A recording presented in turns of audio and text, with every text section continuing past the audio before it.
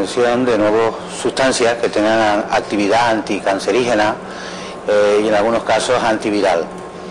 Normalmente lo que nosotros estudiamos son organismos marinos que pueden ser algas en todas sus variedades o bien eh, pueden ser animales tales como moluscos, esponjas, eh, gorgonias, corales, etc. El grupo ya tiene más de 20 años de constituido y hemos ido estudiando las especies de las Islas Canarias y centrando nuestra atención en aquellas que tienen mayor interés.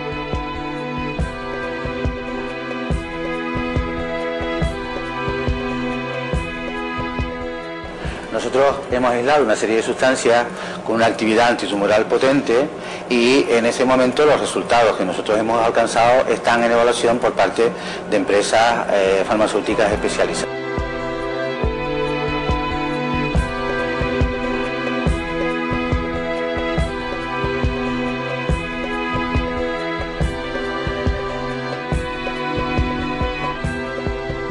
Luego las sustancias se aíslan. Se establece su estructura química, pues muchas de ellas no se han identificado hasta ahora.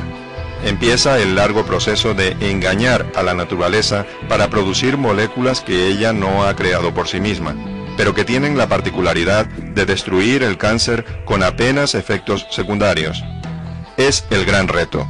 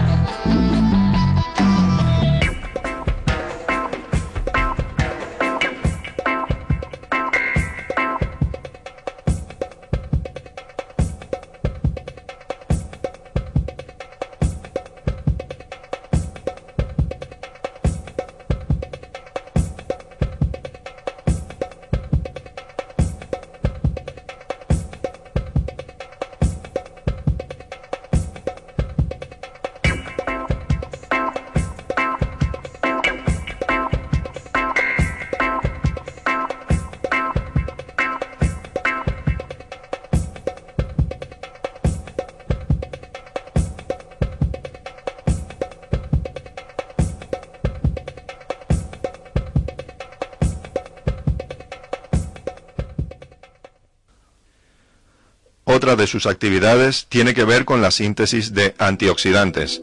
No olvidemos que la existencia en los seres vivos se acaba porque envejecen sus células. Químicamente se dice que sufren un proceso de oxidación celular,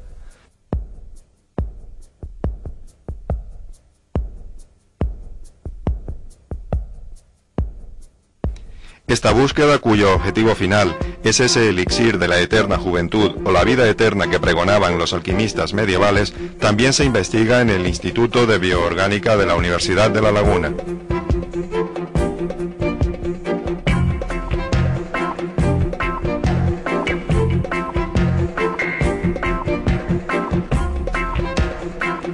Otras líneas intentan ayudar al ciudadano canario, como las investigaciones para desarrollar sustancias que eliminen los hongos y parásitos de las papas, los tomates y las plataneras.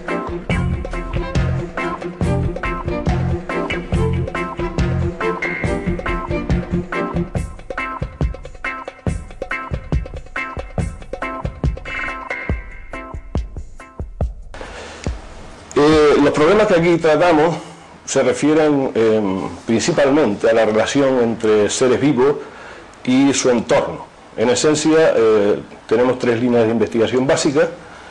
Una de ellas es la interacción entre patógenos y plantas, eh, que puede ser, que, bueno, que de hecho son útiles para la humanidad, en el sentido de que constituyen fuentes importantes de alimentación. Por ejemplo, eh, hemos dedicado los últimos seis años o así al estudio de la interacción entre la platanera eh, y una plaga que es bastante perjudicial para la misma, como es el, hongo que causa el mal de Panamá, el Fusarium usisporum, y así, así como con otro hongo que por suerte no, existe aquí en Canarias, pero que cuya incidencia en la platanera es muy grave en países latinoamericanos, como la cigatoga negra.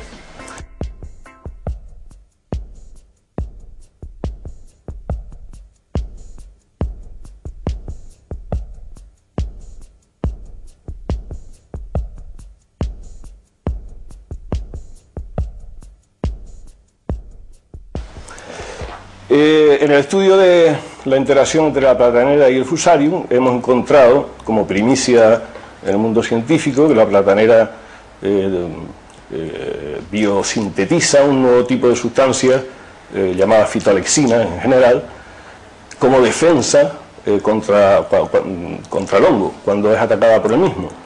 Nosotros en este laboratorio hemos aislado esas sustancias, las hemos caracterizado, hemos determinado su estructura, las hemos sintetizado y, digamos, hemos también estudiado su actividad eh, contra los hongos, que en muchos casos es mucho mayor que muchos de los fungicidas que se utilizan actualmente en el mercado, así como estudios sobre la biosíntesis eh, de estas sustancias eh, a través de, hemos logrado, esta chica argentina, bióloga molecular, ha logrado implantar nuevas células en suspensión de, de tejidos de banano y tenemos así el medio para estudiar la biosíntesis de estas sustancias en, contra el hongo.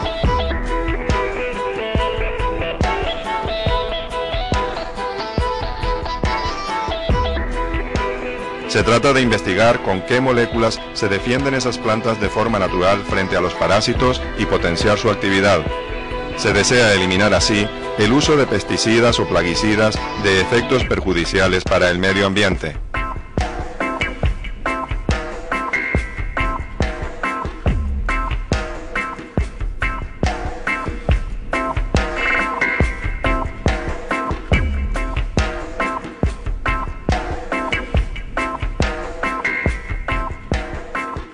En el instituto también se trabaja en química básica, tan necesaria para luego estudiar las aplicaciones. Con la finalización del descubrimiento del genoma humano, es decir, el libro en el que se señala cómo se crea un ser humano pero escrito con letras en forma de sustancias químicas, así como la conclusión de otros genomas de animales y plantas, el futuro de un centro que investiga la química biológica se vislumbra muy prometedor.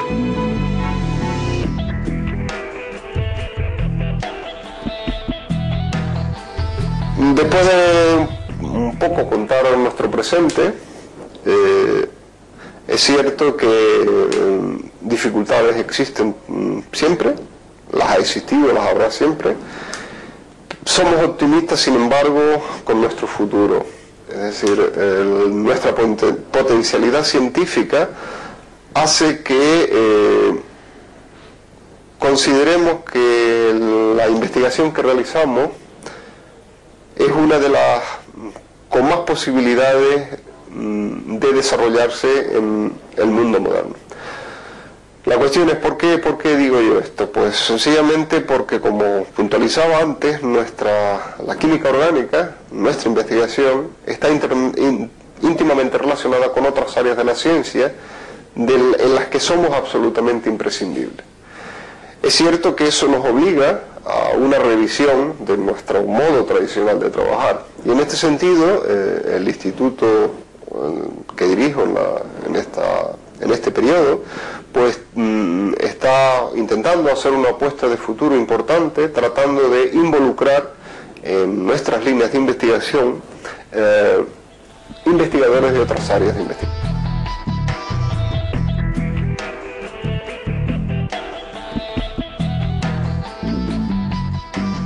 Las líneas de investigación del Instituto de Bioorgánica compiten con los grandes laboratorios europeos y obtienen subvenciones del presupuesto común de investigación.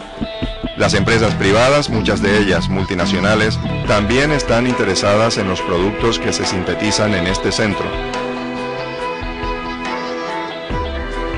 También tenemos perspectivas de involucrarnos dentro de la posibilidad de crear una una especie de centro piloto para la producción de eh, diferentes sustancias que hayan sido desarrolladas en el centro y que hayan, digamos, superado una serie de pruebas y que eh, merezcan la producción en cantidades importantes. Es decir, por así decirlo, pretendemos demostrar que somos capaces de eh, esas sustancias que en principio podrían quedarse en el mero intelecto, en el mero desarrollo de, de, digamos, académicos, pues pretendemos demostrar que, se pueden producir en grandes cantidades, que podemos aportar la producción de las mismas a la sociedad y evidentemente estamos pensando en una posible comercialización de los resultados que